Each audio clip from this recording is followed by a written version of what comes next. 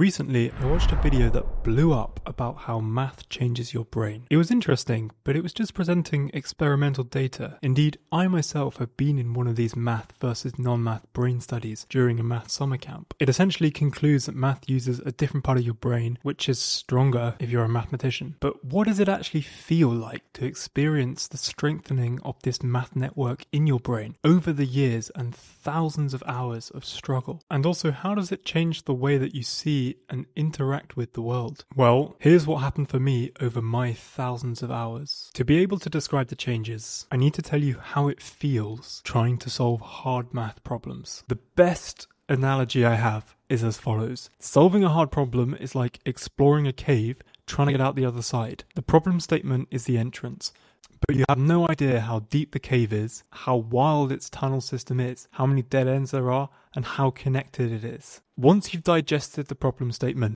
some possible paths open up. You decide on the one you think is most promising and explore that. Chances are it's a dead end. But before turning around and heading back to the start, you stop for a moment to think about if the structure of the tunnel tells you why it had to have been a dead end. Now you've learnt a bit more about the cave, and when you go back to the start, likely a new route seems much more promising. So you go explore that equipped with the knowledge of the previous dead end. And this process goes on and on and on until eventually you've explored this intricate structure and have come out the other side solving the problem. And so after doing this so many times, here are the changes that have happened to my brain over the years.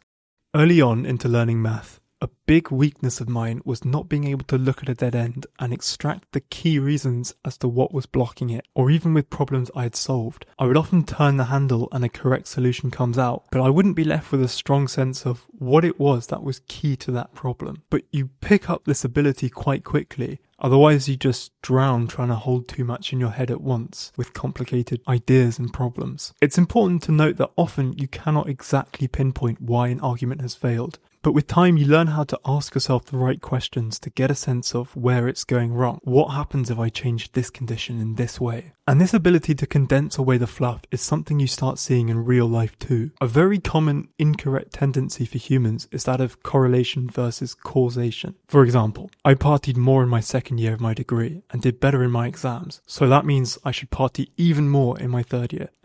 now that's a crude example, but it's a very useful skill that your brain develops with math, being able to strip away the fluff, attributing correctly why something has or hasn't happened. As problems in math get harder and more complex, the tunnel system of the cave gets more intricate. There are times where you've explored all the paths you can see, but eventually they are all blocked. However, you realize that if you go halfway down one path and drill across in the direction of another, then you'll pick up that other path past its blockage. Being able to draw connections is hugely important in math. I've got a video going through an example of this happening for me in an exam. And it really is something you get better at as you study more and see examples of how other people in the past have done it for the topic you're reading about. But it's not just connections within a cave. Often, the key to solving a problem comes from recalling a similar looking entrance to a cave you've met in the past. And so you can sense a lot of its structure you've already explored might be useful to you. Indeed, doing this between different fields is how Terence Tao says he earns his living.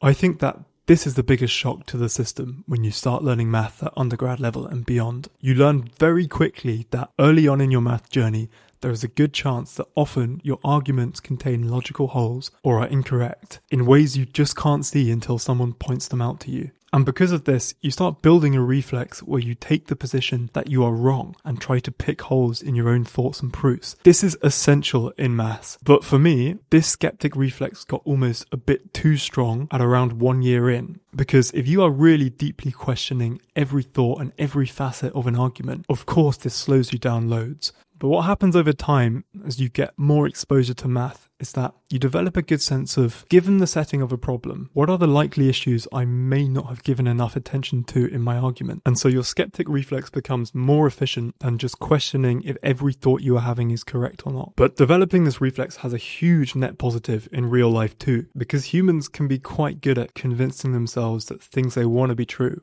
are true. Of course, I probably still do it, but developing this reflex helps you be a whole lot more conscious of this.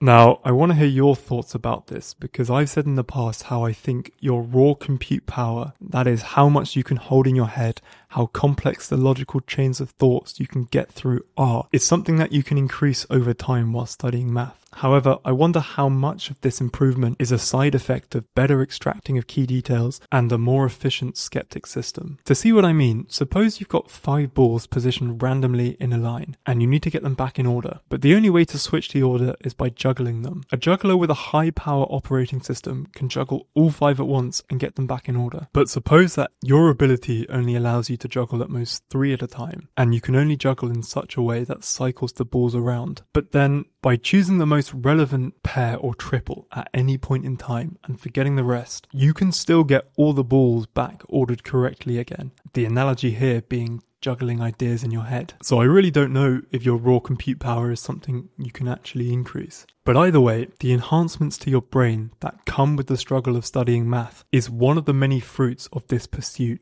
One of my supervisors is 89 years of age, a full lifetime in math. His office is a time capsule, but still, he has one of the sharpest operating systems I've ever had the pleasure of interacting with.